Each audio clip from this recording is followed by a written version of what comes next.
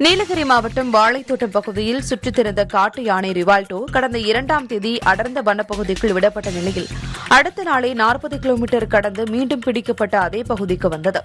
மீண்டும் வாழைத்தோட்ட பகுதிக்கு திரும்பிய யானை ரிவால்டோ ஊருக்குள் நுழையாமல் வனப்பகுதிக்குள்ளேயே சுற்றித் தெரிகிறது. இதற்கு முன்பு வரை ரிவால்டோ மற்ற காட்டு யானைகளை கண்டால் மிரண்டு ஓடும். ஆனால் தற்சமயம் மற்ற காட்டு யானைகளுடன் ரிவால்டோ நெருங்கி பழக தொடங்கியிருக்கிறது. மற்ற காட்டு யானையுடன் ரிவால்டோ வனப்பகுதிக்குள் நெருங்கி பழகும் வீடியோ காட்சி ஒன்று வெளியாகியிருக்கிறது. அதில் ரிவால்டோ எந்தவித அச்சமும் இன்றி மற்றொரு ஆண் யானையுடன் விளையாடும் காட்சிகளும் உள்ளன. விவால்டோ மெல்ல மெல்ல வனச்சூழலில் வாழும் வகையில் தன்னை மாற்றிக் கொண்டு வருவதாக வனத்துறையினர் தெரிவித்துள்ளனர்.